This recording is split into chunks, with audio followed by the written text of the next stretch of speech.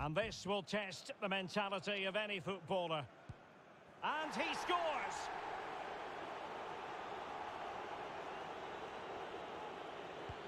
And the penalty converted down the middle. And up he comes, doing his best to remain focused. And just like that, he's come up with the save. Not to be in terms of the finish. Oh, brilliant goalkeeping. Can he convert? And there it is, perfectly executed. A goalkeeper's touch, but a goal nonetheless.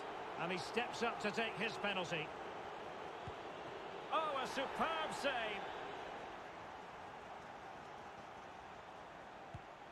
Well, chance wasted. And now he knows what's on the line. If he scores, they win.